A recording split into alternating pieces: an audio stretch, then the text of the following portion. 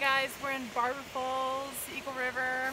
We have Eiler here, Bodie, enjoying some nice cold Not warm weather. Birthday. birthday weather. Her birthday. Her birthday.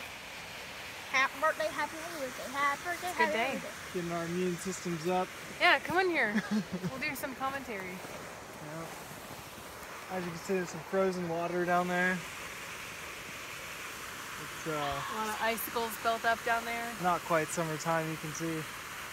You wouldn't want to take a swim in that. It'll probably still look like that in a month.